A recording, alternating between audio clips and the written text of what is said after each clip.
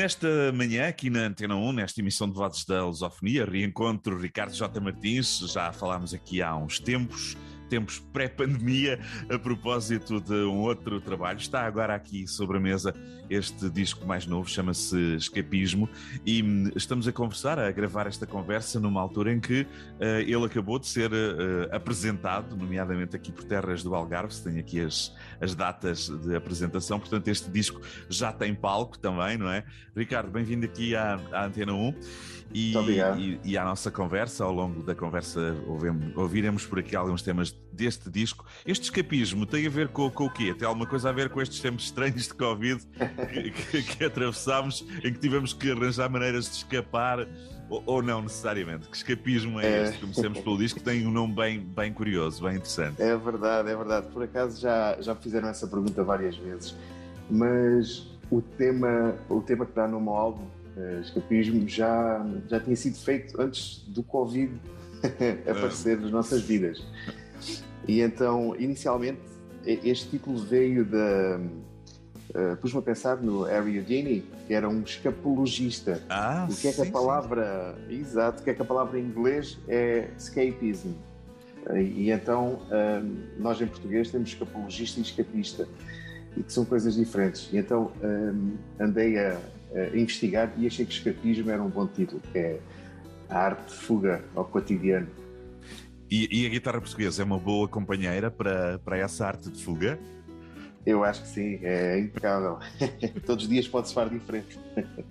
Todos os dias soa diferente e todos os dias vai, vai para, para, para os teus braços, Ricardo. Eu vou cometer aqui uma inconfidência porque agora estávamos a estabelecer esta ligação Zoom. Uh, estamos a gravar esta conversa também de manhã e tu apareceste-me aqui no vídeo, já com a guitarra nos braços e a fazer uma espécie de introdução sonora.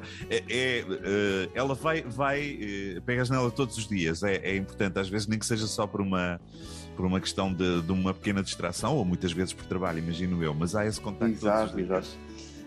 Agora, desde há um ano e pico, torna-se mais complicado porque fui pai e então há aqui muita hum. gente a precisar da minha meu auxílio. Mas sim, é, é, importantíssimo todos os dias tocarmos um bocadinho, mesmo que seja só um jogging de dedos, que é sim, para, sim.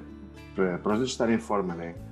É, é como um atleta, é a mesma coisa. É Exatamente. Mexer. E o tempo de criação, de criação de temas, aparece assim eh, de vez em quando ou há uma espécie de, de, de trabalho para casa do próprio? Agora vou compor, vou, vou criar. Como é que são esses, como é que esses tempos acontecem? É, é também uma boa, também uma boa pergunta. Realmente as músicas, eu, não, eu normalmente nunca, nunca penso, agora vou fazer uma música ou vou tentar fazer uma música. Normalmente estou assim a tocar, como ainda há bocadinho, né, quando iniciámos a, a nossa Esta conversa. ligação Zoom, sim, sim. Exatamente. E às vezes, enquanto estou a tocar, vem-me saindo algumas ideias que normalmente aproveito e filmo, filmo para ficar com o áudio e a imagem para perceber realmente onde é que ponho os dedos, né? Uhum. Porque às vezes as mesmas notas estão em vários sítios e há sítios Isso feitos para mim fazer. Há, há um trabalho, há um trabalho visual, é? Eu já tinha é ouvido. Verdade eu já tinha ouvido aqui há, há tempos, já não sei quando, nem com quem, alguém me explicar. Fiquei muito surpreendido quando ouvi aquilo a primeira vez, que muitos guitarristas que aprendiam, ou que estavam a aprender guitarra portuguesa com alguns mestres, precisavam de ver como é que eles colocavam os dedos, não, é, não iam lá só pelo ouvido. Portanto, há aqui uma parte visual. Exato, exato. Agora, para o próprio, eu nunca tinha ouvido. É verdade, é verdade, porque às vezes há ideias que saem assim no momento e depois, passado 10 segundos, já desapareceram. E então, muitas vezes, até antes de começar assim a tocar, ponho logo a filmar, não vai acontecer alguma coisa importante. Um, e é assim realmente. O outro CD, quando comecei a pegar nas ideias que tinha gravado nestes pequenos vídeos, deparei-me com 80 vídeos e hum. cerca de 8 horas, 8 horas de música, em que muitas vezes eram, eram certos da mesma coisa, mas em em, fase mais inicial. Sim. Há uma, então há, uma, é... há uma, espécie, havia uma espécie de música base, de melodia base. Exato. De, sim, sim.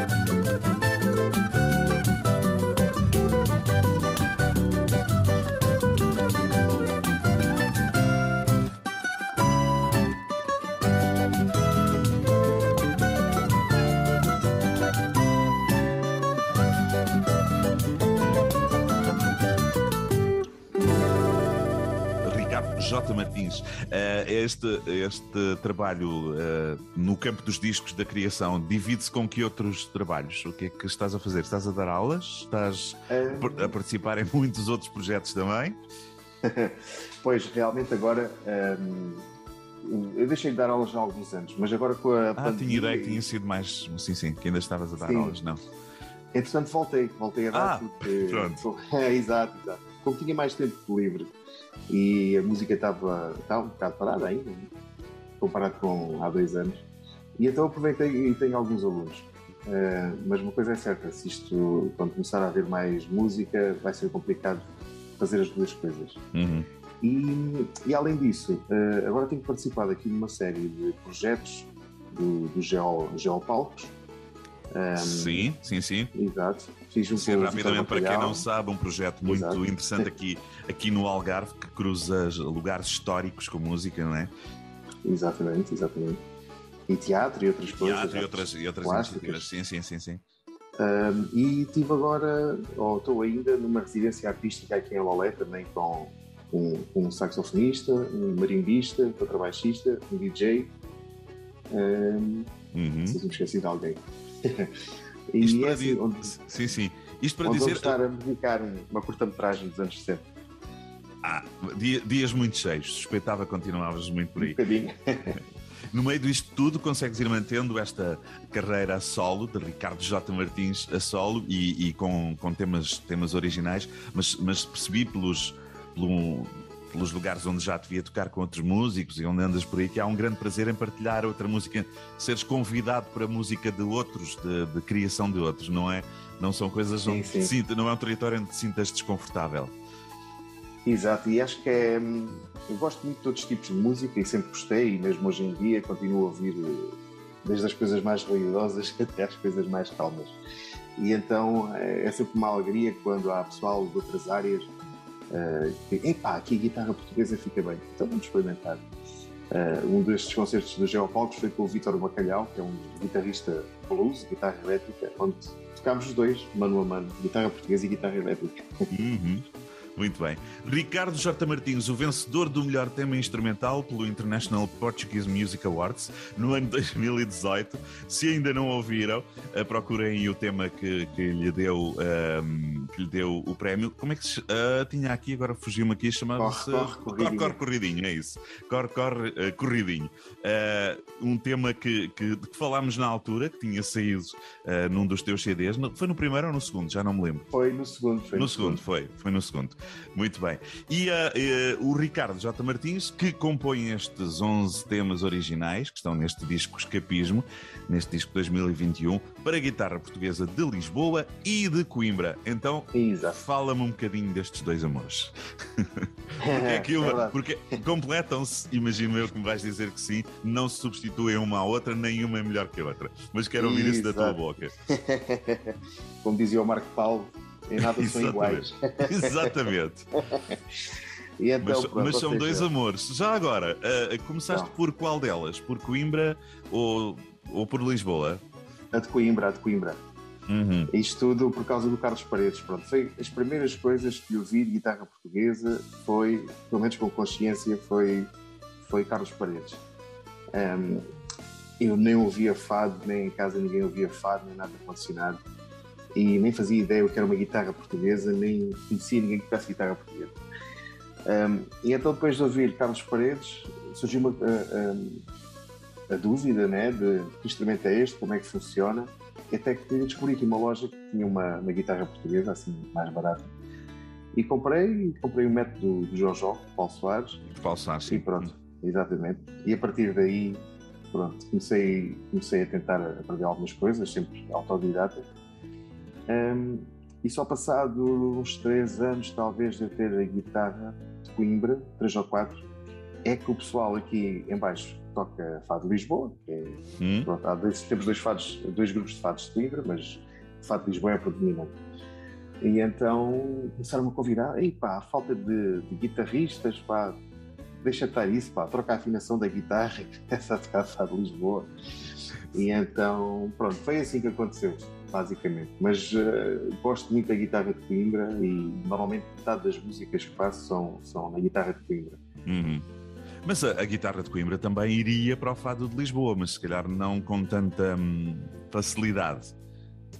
Um, Ou não? Essa, essa é outra questão é, engraçada, que é um, usa-se desde já há décadas um, a guitarra de Coimbra afinada a Lisboa. E há uma série de guitarristas exato, que utilizam exato. esta afinação. O Custódio Castelo, sim, um, sim. Mário Pacheco, o Marco Pedro da Costa, o Ângelo Freire, Zé Manuel Neto.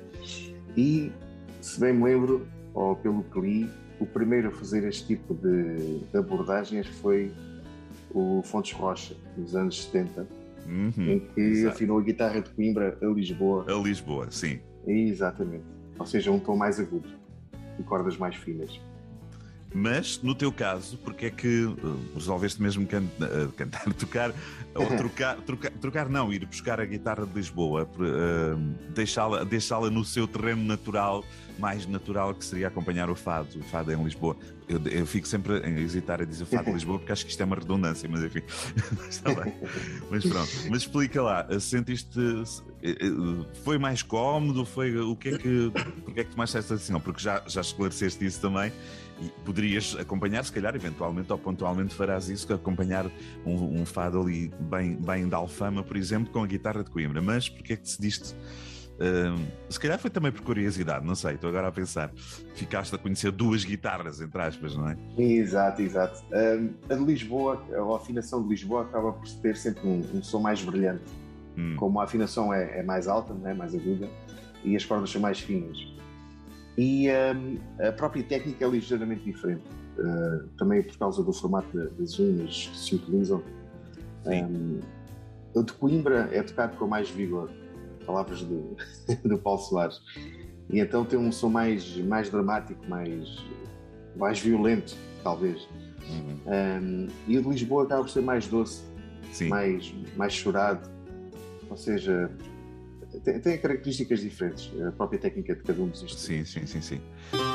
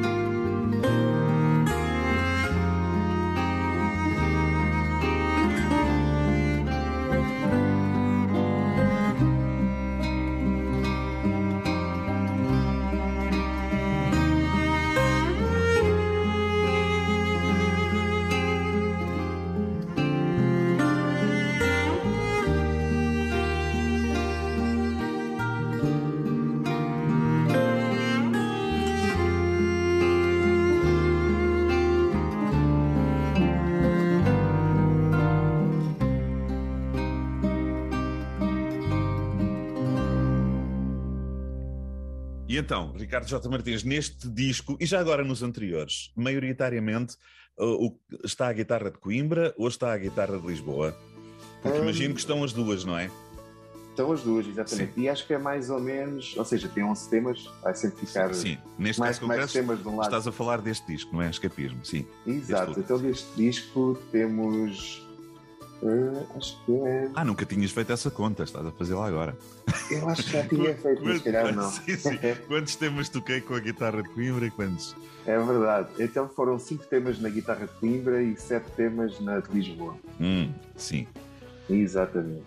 E, e, e, e, esses temas nasceram cada um deles uh, nessa guitarra? Ou aconteceu o primeiro momento, o primeiro rascunho de um tema, por exemplo, nascer na guitarra de Lisboa e depois acabar na guitarra de Coimbra, ou vice-versa? Sim, sim, às vezes isso acontece. Ah, um, às, às, vezes tem a ver, como cada uma dessas duas guitarras tem uma linguagem própria em termos de, da técnica de mão direita, não é? A de Lisboa é mais aqueles treinados e se calhar mais, mais técnico, e o de Coimbra tem uma coisa que é, que é o polegar apoiado enquanto se toca com o indicador que é uma técnica mesmo de Coimbra.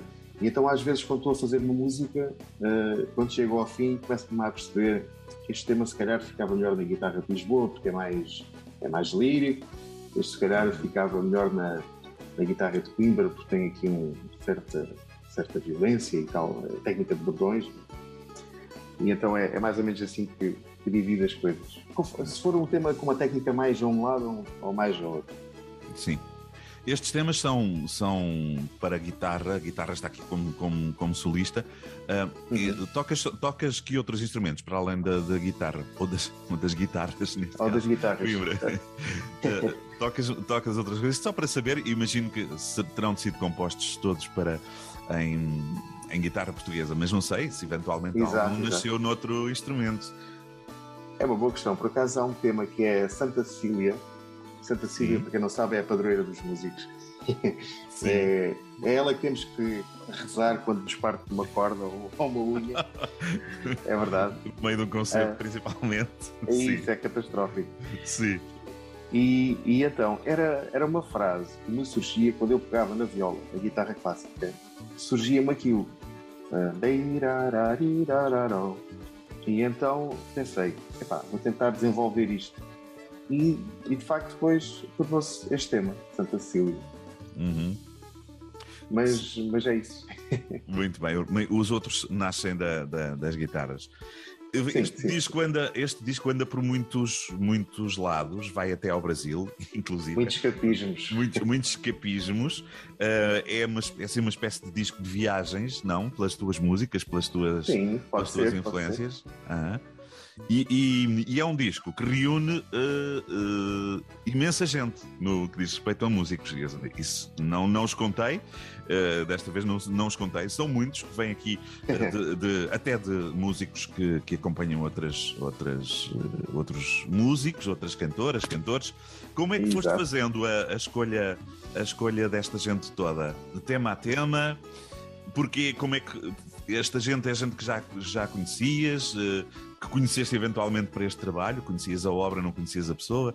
Como é que este disco foi, se foi distribuindo por, este, por estes convidados todos? Ok, então um, foi o seguinte: eu normalmente quando faço uma música, eu nunca. Eu, como gosto de música de outros estilos e, e música muitas vezes de fusão, ou seja, eu acho que às vezes ter só a guitarra portuguesa com, a, uma guitarra clássica e, e o baixo pode ser um bocado delimitador, não é? se nós temos uma ideia mais abrangente para aquilo.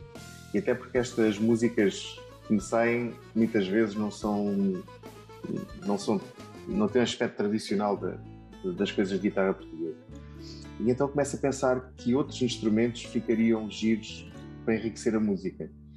E então é aí que acontece uh, convidar este músico, aquele músico. E então houve aqui alguns músicos que já que já, já tinham gravado comigo ou que já tínhamos tocado ao vivo.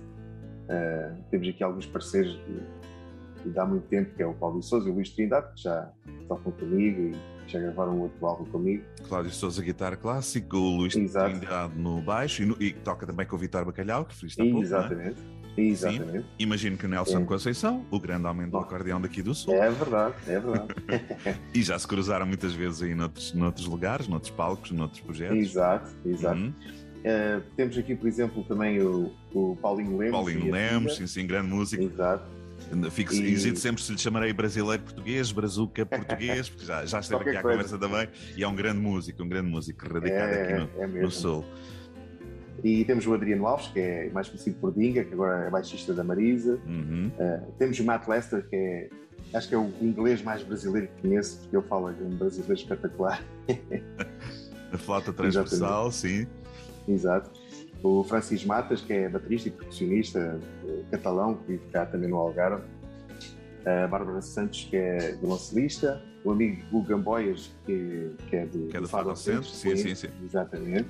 Paremos lá aqui um bocadinho no, no Gamboias na guitarra portuguesa. Então, e foste buscar outra guitarra portuguesa, neste caso, com o Gamboias, porque havia aqui um tema que de repente pediu duas guitarras e tu não podias tocar as duas ao mesmo tempo. Podias quase ao mesmo tempo se usasses aquela guitarra ah, que o Custódio Castelo tem, que são duas guitarras numa só.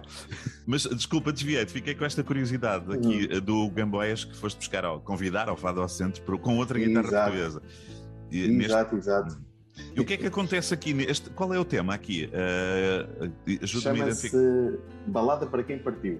Balada para quem partiu. E, e está aqui, estão aqui as duas guitarras de Coimbra ou, ou as, as que se ouvem nesse tema? Ou a tua de Coimbra e a do. Hugo? Sim, sim.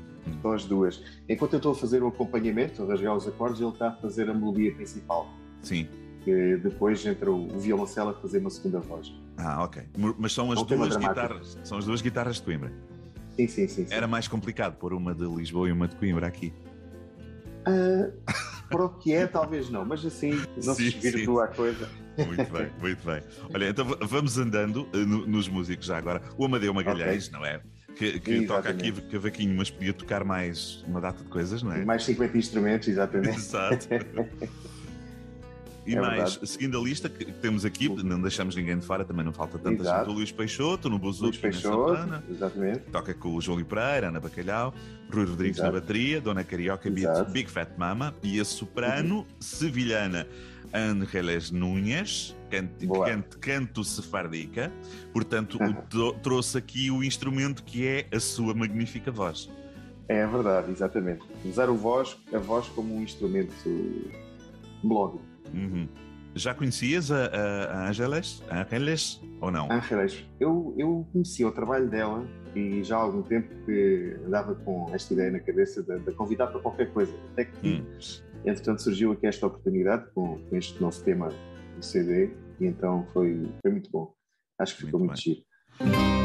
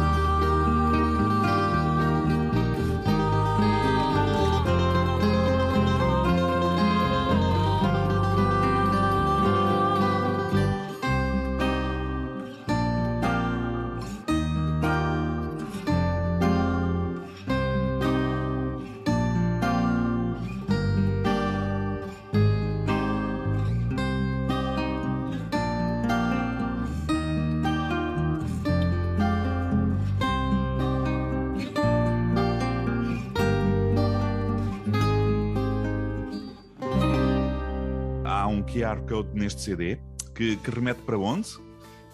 É verdade, este CD tem uma coisa que, que acho que é pioneira, que é uh, quem tiver o CD tem acesso a um QR Code que, onde podem aprender a tocar todos os temas. Tem lá todas as partituras e tablaturas dos temas uhum. do, do álbum Escapismo. Muito bem. É uma boa prenda para quem esteja, por exemplo, a aprender a tocar guitarra portuguesa, ou queira aprender, ou queira seguir-te, não é? Se calhar exato, muitas vezes. Se calhar muitas vezes desejaste isso para ti próprio. Foi que houvesse um QR Code ou um modo qualquer de acesso à, à partitura. Um SOS. Um SOS, um SOS. E, entretanto, um, tens andado, como já se percebeu, por, por outros palcos a apresentar um, este disco. Como é que fazes em, em palco? Uh, como é que levas este disco para, para palco, considerando que não podes ter esta gente toda? Quem é, como é que revisitas estes, estes temas? Quem é a banda de estrada? Para utilizar uma expressão mais, mais, pop. Mais pop. Uh, exato, às vezes temos que reduzir um bocado a família e então uh, podemos apresentar este álbum em quarteto como fizemos em Alcácer do Sal em junho, ou seja, guitarra portuguesa, guitarra clássica, baixo e bateria, ou então em sexteto, como fizemos agora em São Brás do Alcotel, adicionando o acordeão e o violoncelo. É mais ou menos esta a estrutura. Uhum. Muito bem. Quem quiser saber coisas por onde é que anda o Ricardo J. Martins e os seus músicos, há uma página oficial. Por acaso, acho que nesta altura em que estamos a gravar, ouvi mal, eh, mas ainda não há lá o disco novo. Ou já há? Não, deixa-me abrir aqui. Acho que ainda não há lá, acho não. que na página oficial ainda não há informação. Não, não. Há no YouTube o tema, o tema YouTube. escapismo. Se procurar sim, sim. Ricardo J. Martins está lá. Na, na página. Os teasers. E os teasers, exatamente. Exato. Ricardo Martins. Uh, onde é que está? Ricardo, não, Ricardo Martins. Uh, GPT. É, é? GPT. É? GPT. Exato. Ricardo Martins, gpt.com. Eu, de qualquer maneira, refiro a página, obviamente que é importante, está bem feita. És tu que fazes ou tens uma grande equipa a fazer por ti? Não, não, não. É, é, uma, é um amigo mesmo que hum, essas coisas. Exato. Muito bem. Tem lá um vídeo muito bonito logo na entrada. Não sei se isto é Coimbra, não sei onde é que foi gravado, não. Esta parte foi de... gravado no Porto. Ah, é Porto, no, isto é Porto. No jardim, sim, no jardim do Palácio de Cristal. Ah, sim, sim, sim. Muito bem. Então, já está lá a referência uh, ao disco Escapismo de Ricardo J. J. Martins. Diz em breve, mas não é em breve, porque o já disco está. já está disponível. Como é que se chega ao disco? Quem nos ouviu, como é que se chega ao disco? Vai à página e pede-te o disco? Ou ele está Sim, num circuito comercial com as dificuldades que de vez em quando isso representa? Não sei se já entrou por aí. Como é que se chega ao disco? Exatamente, pois eh, através das redes sociais é, é, mais fácil, ou seja, Instagrams, Facebooks, através do website, enviar um e-mail, ou então está no Spotify né, e nas outras redes, iTunes, etc. Muito bem. Escapismo, Ricardo J. Martins. E podem visitar ou revisitar os discos anteriores, o Cantos e Lamentos, e o primeiro que tinha o teu nome. Estou a dizer bem. Exatamente. Tinha mesmo Exato. o teu nome, Ricardo J. J. Martins. Muito é bem. Verdade. Parabéns pelo disco, grande música. Muito é, obrigado. É, é, um disco muito, muito livre, não é? Do ponto de vista de. Percebe-se isso ouvindo, do ponto de vista de arranjos, de territórios musicais, de influências, de misturas por onde andaste. Portanto, há aí uma, uma grande liberdade. Tem muito a ver contigo também, não é? Sim, sim, sim. Acho que o caminho é sem pensar é em barreiras, não é? Muito bem. Só para rodapé, ainda vais tocar para casamentos e, e, e como conversamos. Lembro-me dessa conversa que achei fascinante e, e o modo como exato. explicaste que não, é próprio, não ias propriamente para uma música de banda, de, de, animação de baile, ias fazer exato. uma banda sonora que eu achei uma coisa extraordinária, com, muitas vezes até com músicas originais ou, ou arranjos. Como é que é essa aventura? É, eu acho que é, é, muito interessante nós vermos as pessoas felizes, né? Sim. E então muitas vezes as pessoas dançam ao som da, da nossa música, dos meus uhum. temas, né? Danças na eira, por exemplo, já fui num sítio que tinha uma eira e, e a entrada foi os noivos a dançar ao som da música. Muito bem, acho, muito que é, acho que é espetacular ver as pessoas felizes. E, Aliás, este, este nós... disco, é, este disco é, é, a prova disso, que ele tem muitos temas muito dançáveis, com um grande convite é verdade, à dança. É verdade. É? verdade, é isso Sim. mesmo. E, e os casamentos? ah, ainda, ainda vai surgir. Ainda te convidam? Sim, Sim, ainda, ainda. Uhum. Um, e por acaso tinha aqui um tema engraçado, é que falámos já há pouco do Balada para quem partiu, que surgiu numa história completamente oposta, que é ir tocar num funeral. Ah, é verdade. Sim. E então, um, isto é uma história verdadeira, convidaram para ir tocar num funeral mas através de uma empresa deste tipo de coisas. E eu perguntei, então, e o que, é que, o que é que querem que, que eu toque? Hum. Ah, nós não sabemos bem, a pessoas estão em Coimbra, se calhar a balada da despedida. Sim, mas qual é a balada da despedida? Há várias. Sim, sim, ah, sim, não sim. sei, toque, toque uma que acho bem. e então bem. eu cheguei a casa e comecei a pensar: epá, se eu morrer ou quando eu morrer, isto não vai acontecer, não pode ser. Vou ter sim. que fazer o meu próprio requiem. Assim, em vez de porem lá um, um a tocar, basta carregar no play. Então esta Muito bom, muito bom, Ricardo. É a história verídica por trás disto. Muito bom, balada para quem, para quem partiu. Muito bem, Exato. Ricardo J. Martins, obrigado por esta conversa, nos, nos apresentares este disco. Até breve, vamos nos cruzar aí uh, no palco, não é? Porque já percebi que a tua agenda com este teu disco ou com. O, o, o, teu, o teu palco agora pode ser apoiado só nos 11 temas deste disco, mas imagino que também vais buscar coisas dos, dos discos anteriores. É sempre, é quase inevitável sim, sim. que faças isso, sim. não é? Sim, toquei alguns temas do, do disco anterior, uns 4 ou 5 temas, talvez. Muito bem. Então, quem quiser um, contratar-te para concertos, se for para, para funeral, tudo. para tudo, já percebemos para tudo. Despedidas de solteiros, despedidas, de casados, tudo. Ricardo Martins, gpt.com. Muito bem, um abraço, Ricardo. Um abraço, muito obrigado.